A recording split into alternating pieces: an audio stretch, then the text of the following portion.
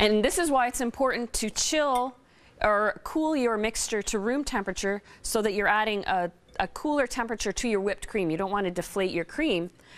But at the same time, you don't want this mixture too cold that the gelatin starts setting up. So you have them sort of like temperatures. And I find it works well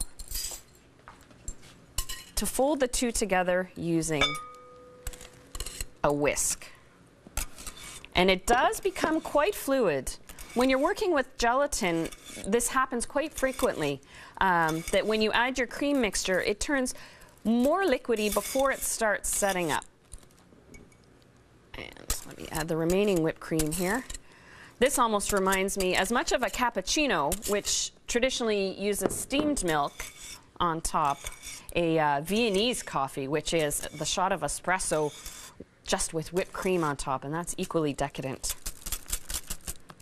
The first time I made this recipe, I actually made it for 120 people. I was doing a ladies' luncheon fashion show, and the theme of the menu was taupe and lace. And so I thought the color of this mousse matched perfectly, and I served it in lacy brandy snap tuiles. And it really did suit the fashion show, and everyone enjoyed it. There we go. So that's folded in. And the cool cream will immediately start setting the mousse just a little bit. And then your choice of cups. You could put this in glasses, in bowls, but I do like the idea of playing with the cappuccino idea and fill these right to the top. Give it a little shake to level it and put it in the fridge. I find it takes a good two hours for it to set. I have some already set.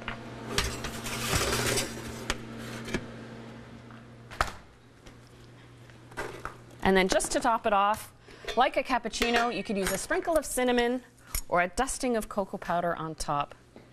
A great way to enjoy your coffee. Now when I come back, I'll start on the cappuccino ice cream cake, but first, enjoy a cappuccino mousse.